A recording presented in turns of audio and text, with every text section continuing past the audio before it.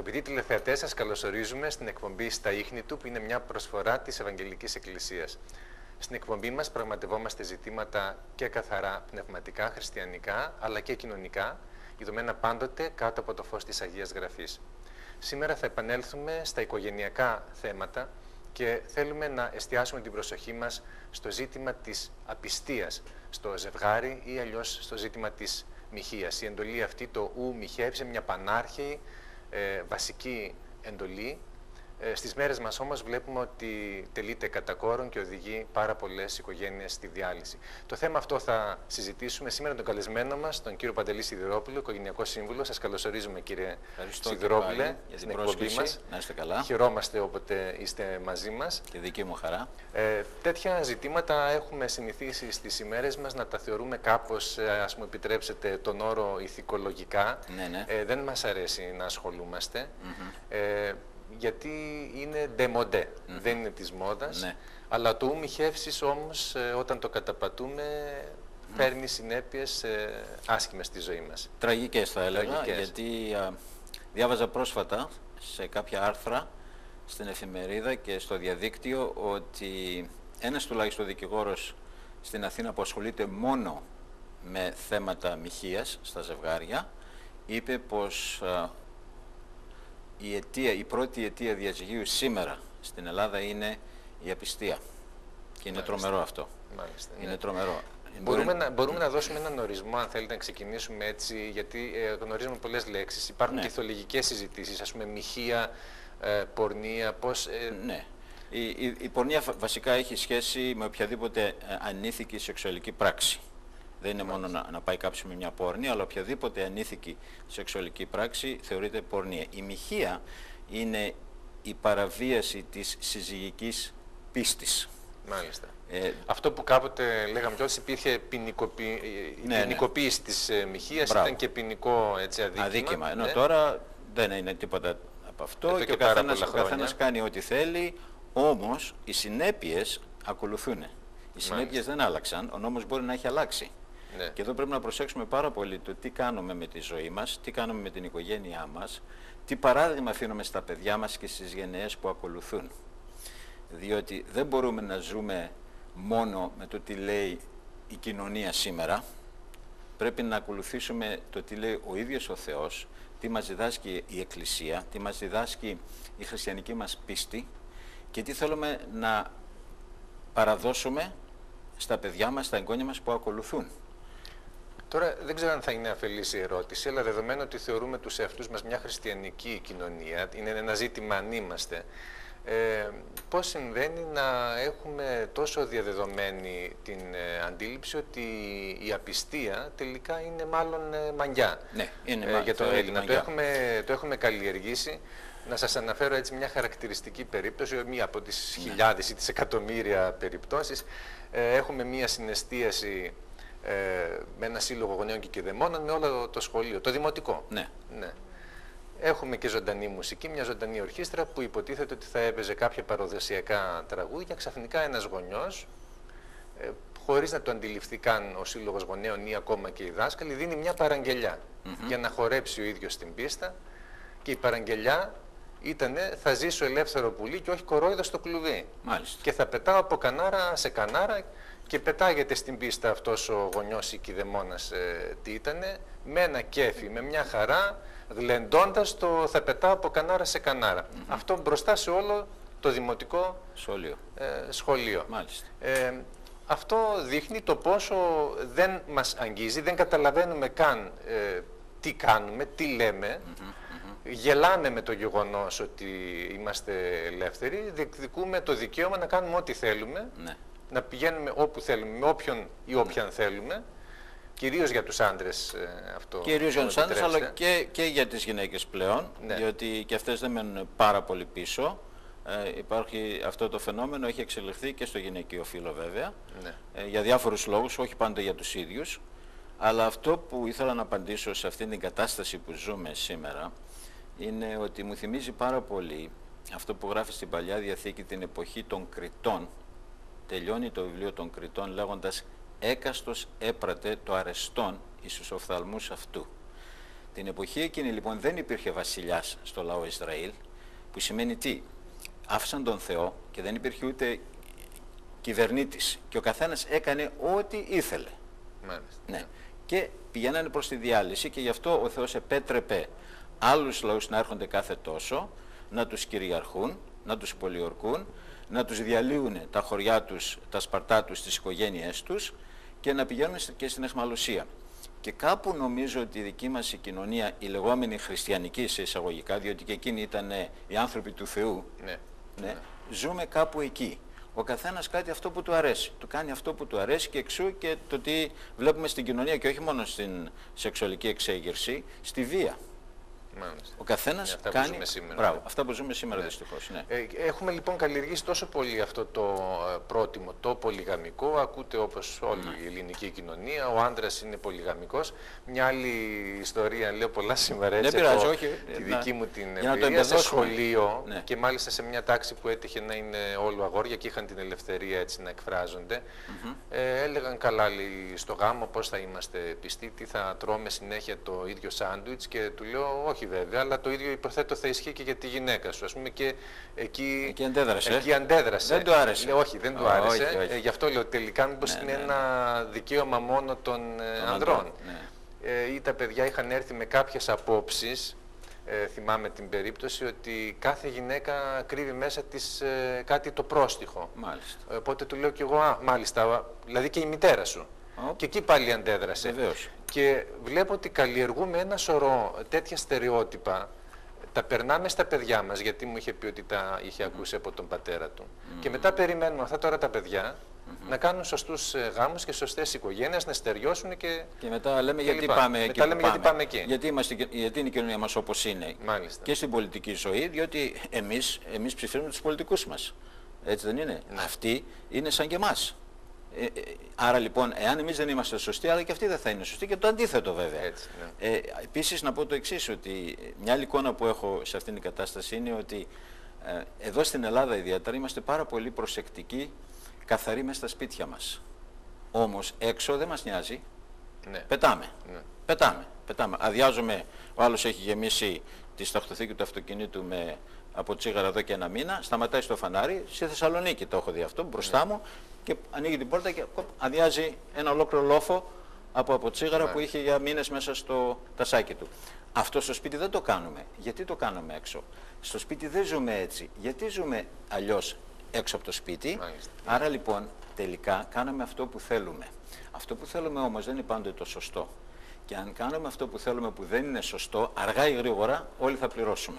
Λοιπόν, γιατί έχει καλλιεργηθεί αυτό το πρότυπο, γιατί λοιπόν τόσο πολύ ε, καλλιεργείται αυτό το Ναι, υπάρχουν πρότυπο της απιστίας, πολλές- της εμυχίας βεβαίως. και επικροτείται Ε, κιόλας. υπάρχουν πολλές αιτίες και να, να διαβάσω μερικές που έχω γράψει εδώ πέρα ότι πρώτα απ' όλα α, δυσκολεύει πάρα πολύ αυτή η απιστία της συζυγικές σχέσεις και κυρίως συμβαίνει επειδή υπάρχει μια σφοδρή επιθυμία για κάποιον άλλον. Μια σφοδρή επιθυμία για να ικανοποιήσω τον εαυτό μου. Μπορεί η γυναίκα μου να είναι πιο ωραία και πιο ελκυστική από μια άλλη, αλλά αυτό το ξένο πρόσωπο με ελκύει περισσότερο. Το παράνομο. Ε, επίσης το ότι ε, ρισκάρω λίγο. Μήπως και με δει κάποιος, μήπως και με ανακαλύψουν.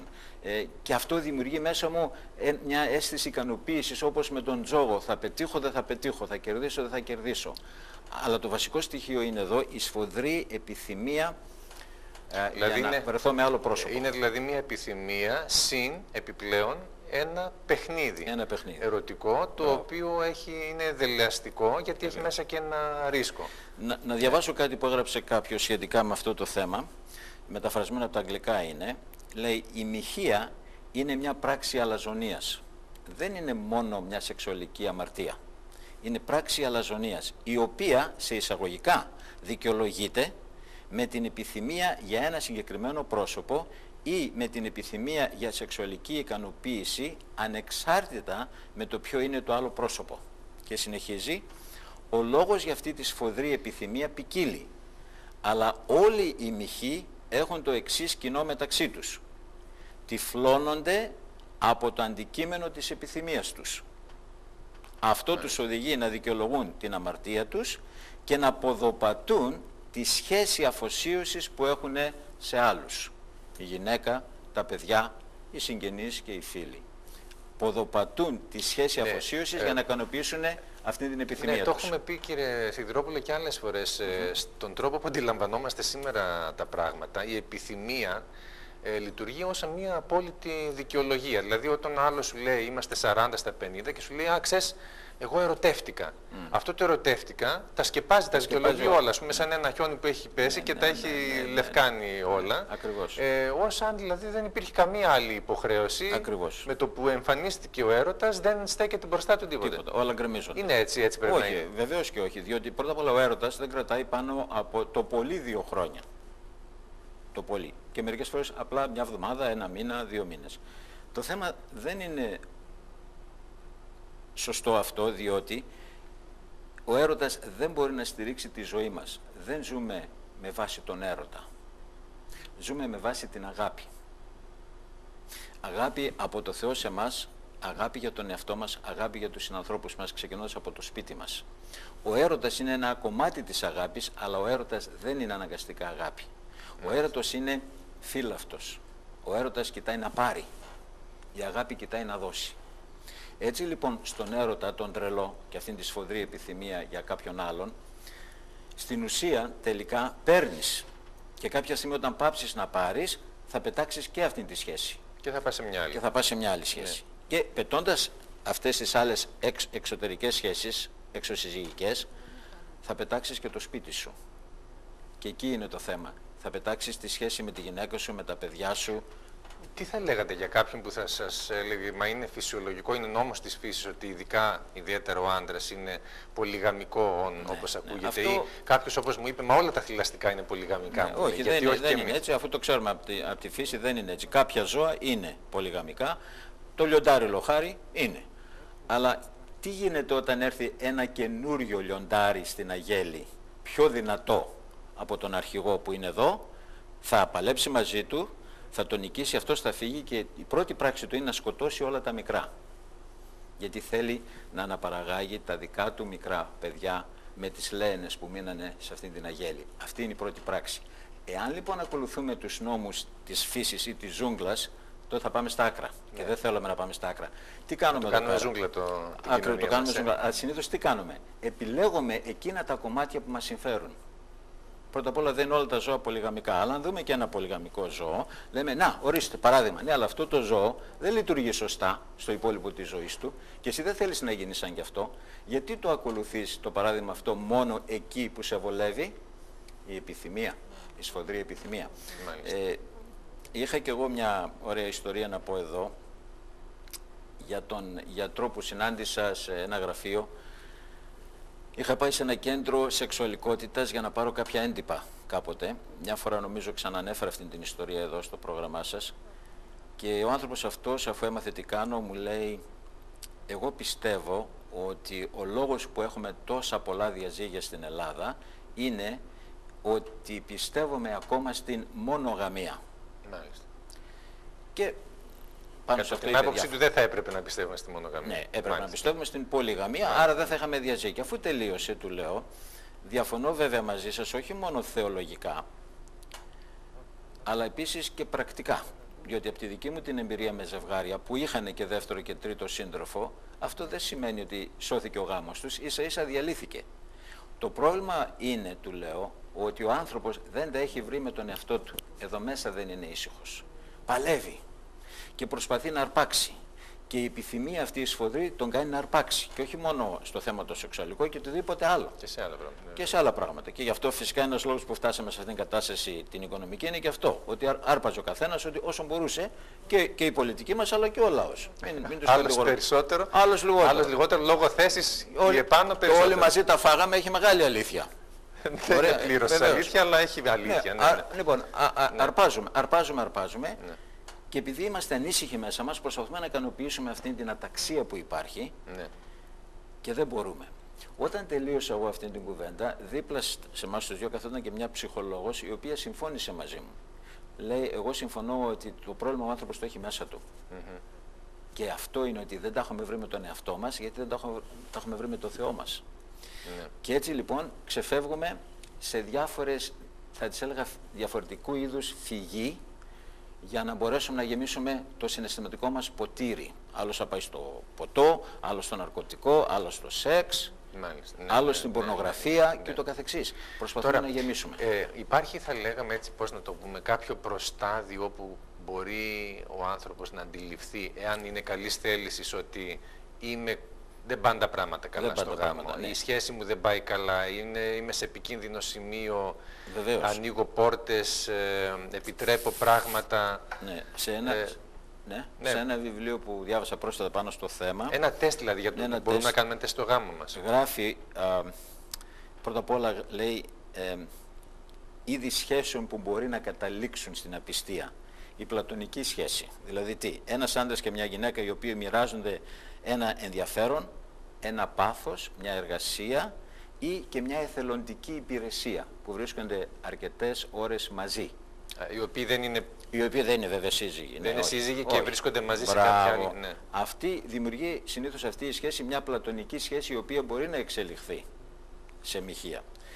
Το δεύτερο είναι επικίνδυνο προφίλ φιλίας. Όταν κάποιος μοιράζεται με κάποιον άλλον στη δουλειά, το άλλου φίλου βέβαια, στοιχεία από το παρελθόν και από το παρόν, τα προβλήματα που έχει στο σπίτι του, με τη γυναίκα του, με τα παιδιά του, τα οικονομικά του και ούτω καθεξής, τις παραδόσεις του κτλ. Όταν ανοίγεται πλέον σε κάποιον συνα- συνάδελφο ή συνάνθρωπο, ο οποίος είναι του άλλου φίλου και δεν προσέχει τι συμβαίνει στη σχέση. Μάλιστα. Το ναι. τρίτο είναι μια παλιά φλόγα. Ποτέ δεν ξεχνάμε τις ρομαντικές σχέσεις, τη μουσική που ακούγαμε, τις διάφορες εμπειρίες μας στην εφηβεία. Και όταν αυτά αναβιώνουν στην ενήλικη ζωή μας, κάπου ξεφεύγουμε από εδώ και πάμε και ζούμε εκεί, πίσω. Ναι, ναι. Είναι Αυτό ένας βέβαια- τρόπος διαφυγής. Μπράβο. Αλλά αυτές οι καταστάσεις που αναφέρατε μόλις είναι, θα λέγαμε έτσι, ένα θερμοκήπιο Πάνω στο οποίο πάνω στο οποίο μπορεί η απιστία Ακριβώς. πολύ εύκολα να, να δημιουργηθεί. δημιουργηθεί, Και έτσι. άρα πρέπει να προσέχουμε και πρέπει να προσέχουμε διότι αλλιώς... Ερχόμαστε όμως μέσα στις επαγγελματικές μας σχέσεις πολύ στενά, συχνά. έτσι, ναι, ε, τα δύο φύλλα κτλ. Ε, είναι- Τι είναι- γίνεται εκεί, δεν Ε, πρέπει είναι, να είναι έχουμε... περίεργο ότι κάποτε ρώτησα μια κυρία που ήρθε στο γραφείο μου αυτή, πήγαινε σε πολύ πλούσια σπίτια και καθάριζε τα σπίτια, μαγείρευε κτλ. Και μέσα στην κουβέντα της ρώτησα, είχες ποτέ πρόβλημα με κάποιους άντρες σε αυτά τα σπίτια που πας, γιατί ήταν και ωραία γυναίκα, ε, οι, οποίοι, οι οποίοι μπορεί να σου κάνουν κάποια άλλη πρόταση πονηρή. Και μου είπε το εξής, δεν μου είπε ναι ή όχι, μου είπε το εξής. Μου λέει, να σας πω κάτι. Το θέμα είναι τι εσύ θέλεις. Μάλιστα. Εάν τους δώσεις αυτούς την ευκαιρία, θα το κάνουν. Εγώ προσέχω και δεν τους δίνω την ευκαιρία. Δηλαδή, ε, κάθε άνθρωπος με τον τρόπο του, με τη συμπεριφορά, εκπέμπει ένα μήνυμα ότι Α, εγώ μπράβο. είμαι ανοιχτός για κάτι τέτοιο ή όχι. Ακριβώς. ακριβώς. Μάλιστα. Και, και θέτει τα όρια του. Μάλιστα. Όταν θέτουμε τα όρια μας και ο άλλος ξέρει ποια είναι, τότε θα- θα κρατήσει και αυτός την απόστασή του. Όταν όμως δεν θέτουμε όρια και αυτό που λέμε και στην εφηβική μας ηλικία α, μπορεί να παίζουμε με το φλερτ, Μάλιστα. ναι. γιατί μας αρέσει, μας κολακεύει λίγο. Λίγο παίζουμε με τη φωτιά και να μπράβο. δούμε μέχρι πού θα Πού πάει, που θα πάει ναι, και, αν αλλά θα μπο- καούμε. Μπορεί και να καούμε. Μπορεί και να καούμε. Μπορεί και να καούμε βέβαια. Μάλιστα. Ναι. Ε, λοιπόν, ένα τεστ στο γάμο μας, ε, αυτή την ερώτηση έτσι λίγο θέλω να την επαναφέρω. Ναι. Πώς θα ε, εξετάσω τον γάμο μου ή τη σχέση μου για να δω εάν κινδυνεύω, αν υπάρχει... Το βασικότερο είναι Περιθώριο, να ναι. έχω μια καλή σχέση με τη γυναίκα μου και η γυναίκα με τον άντρα της. Ναι. Η, η σχέση αυτή, η δυνατή σχέση, μας προφυλάσσει από οποιαδήποτε άλλη τρίτη σχέση. Κάποιος είπε το εξής, ε, αστειευόμενος λέει, όταν έχεις ένα καινούριο Mercedes στο σπίτι, δεν κλέβεις ζάσταβα από το δρόμο, που σημαίνει ότι έχεις κάτι καλό εκεί. Ξέρετε, το μυαλό μου πηγαίνει σε μια κατάσταση, δηλαδή έχω ακούσει ε, για θέματα έτσι, τέτοια περιπτώσεις απιστίας, όπου ο, ο σύζυγος ή η σύζυγος αγνοούσε ότι ο άλλος, είχε δηλαδή την εντύπωση ότι όλα τα πράγματα πάνε καλά, αγνοούσε ότι ο άλλος ήταν δυσυραστημένος μέσα από αυτή τη σχέση. Δηλαδή ήρθε κάποια στιγμή ο σύζυγος ή η σύζυγος και είπε δεν μπορώ πλέον άλλο μαζί σου και ο άνθρωπος πέφτει από τα σύννεφα, ναι. όποιος κι αν είναι. Ε, τι γίνεται και γι' αυτό ρωτάω έτσι για ένα τεστ, πώς ναι, δοκιμάζουμε ναι, τη σχέση θέλει, μας; Θέλει Όταν ο άλλος δεν μας έχει δώσει σημάδια ότι είναι δυσαρεστημένος, ότι δυσανασχετεί. Θέλει να πάμε στην επικοινωνία. Επικοινωνούμε και ο δυσαρεστημένος το παράπονο, όχι την κατάκριση, εδώ έχει διαφορά. Ναι. Δεν θα πούμε στον σύζυγο ή στη σύζυγο είσαι έτσι κι αλλιώς και τα λοιπά, τον χάσαμε. Να πούμε αγάπη μου έχω κάτι να σου πω. Τελευταία αισθάνομαι ότι δεν με προσέχεις και τόσο. Αισθάνομαι εγώ. Όταν πω αισθάνομαι, το παίρνω πάνω μου. Δίνω στη γυναίκα μου την ευκαιρία να απαντήσει. Όταν όμως την κατηγορήσω και της πω εσύ κάνεις έτσι και είσαι αλλιώς, την έχασα. Άρα λοιπόν, ένα τεστ είναι να επικοινωνήσω αυτό που εγώ αισθάνομαι. Και όχι να κατηγορήσω. Όχι να κατηγορήσω. Να πω το παράπονο μου έχω δικαίωμα. Όχι όμως να κατηγορήσω. Όταν λοιπόν μιλήσουμε έτσι στον στη σύντροφο, θα υπάρξει σωστός διάλογος. Μπορεί και ο άλλος να έχει παράπονα. Να τα πει και εκείνος. Βεβαίως. Και να ακούσουμε ένας του αλλού τα παράπονα με ειλικρίνεια και ταπείνωση και να ανταποκριθούμε επίσης. Όταν μάθαμε έτσι να συζητάμε και να ξεκινήσουμε με την κουβέντα αισθάνομαι, δίχως να κατηγορήσουμε, τότε ο άλλος θα μας απαντήσει ανάλογα. Και θα δούμε πού βρισκόμαστε, γιατί κάθε τόσο πρέπει να το κάνουμε αυτό το τεστ. Αυτό προϋποθέτει βέβαια ότι κάποιος έχει, ή μάλλον και οι δύο έχουν καλή θέληση Βεβαίως. για αυτή τη σχέση. Τι γίνεται όταν ο άλλος τελικά ε, τότε έχουμε πρόβλημα. Έχουμε πρόβλημα. Τότε θα πάμε σε κάποιον ειδικό να μας βοηθήσει, να, να μας βοηθήσει να καταλάβουμε πώς μπορούμε να αρχίσουμε να ανοίγουμε τα κανάλια της επικοινωνίας ένα από τα σοβαρότερα προβλήματα στο γάμο είναι η έλλειψη επικοινωνίας. Έλλειψη επικοινωνίας, την οποία επικοινωνία δεν τη μαθαίναμε στα σπίτια που μεγαλώσαμε. Καλά, είδαμε ίσως τους γονείς πολλές φορές ναι. να επικοινωνούν σωστά και άλλες όχι. Ε, μάθαμε στο σχολείο κάποια πράγματα. Αλλά τώρα εδώ είναι δύο ξεχωριστοί άνθρωποι οι οποίοι πρέπει να μάθουν να επικοινωνούν.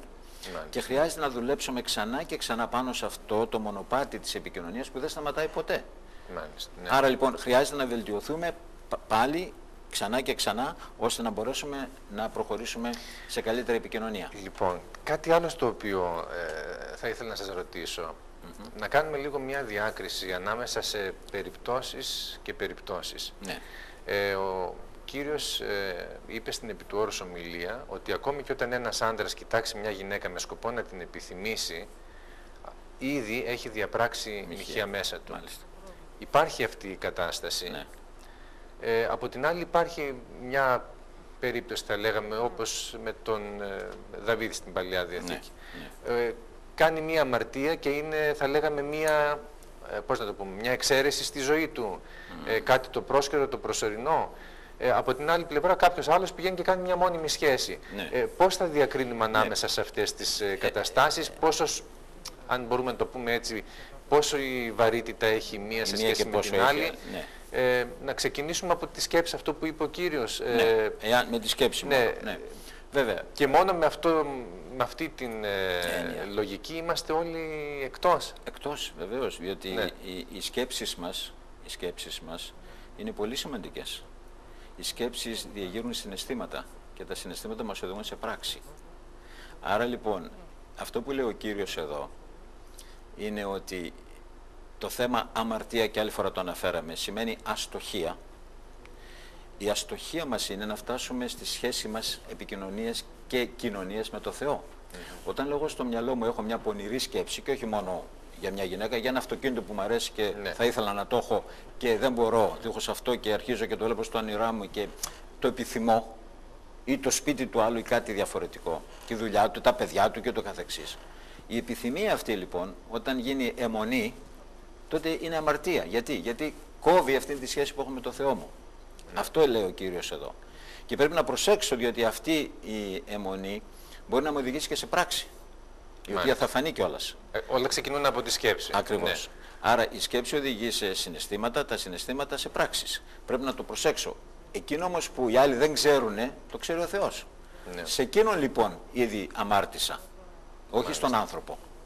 Και εγώ έχω αφήσει τον εαυτό μου να μολυνθεί από τέτοιου είδους πονηρές σκέψεις, ώστε να μην ζω μια φυσιολογική ζωή. Ναι. Να το πω λίγο διαφορετικά. Ακόμα και οι σκέψεις δηλαδή φέρνουν συνέπειες στην ζωή μας και στη σχέση μας με στο γάμο. Έτσι; Δεν είναι μόνο οι πράξεις. Βεβαίως. Ναι. Διότι ε, ας πάρουμε ένα, μια άλλη αμαρτία, τον φόνο. Αυτός που φωνεύει εκ προμελέτης, το έχει σκεφτεί πολύ καιρό. Πώς θα το κάνει, πότε θα το κάνει, γιατί θα το κάνει, να μην τον πιάσουν και το καθεξής. Το μελετάει το πράγμα και μετά έρχεται η ώρα της πράξης. Άρα ήδη είναι μολυσμένος, ήδη είναι φευγάτος. Κάποιος είπε το εξής σχετικά με την αμαρτία. Κάθε αμαρτία που πράττεις είναι μια επίθεση εναντίον της ανθρωπότητας. Και λέω μεγάλη κουβέντα αυτή. Ναι. Και μετά εξηγεί. Διότι η αμαρτία που κάνεις είτε είναι σκέψη, είτε λόγος, είτε πράξη, κάποιον θα ενοχλήσει. Κάποιον θα πειράξει. Πρώτα απ' όλα εσένα, τον άνθρωπο, και εσύ είσαι άνθρωπος. Και επίσης κάποιον άλλον, όταν βγει έξω. Άρα λοιπόν επιτίθεσαι και στον εαυτό σου και στους άλλους με κάθε αμαρτία που κάνεις. Είτε είναι σκέψη, είτε λόγος, Μάλιστα. είτε πράξη. ναι. Γι' αυτό πρέπει να έχουμε καθαρές Ε, σκέψεις. Παρ' όλα αυτά, ε, μια ερώτηση και θα περάσουμε να την απαντήσουμε στο δεύτερο μέρος της εκπομπής.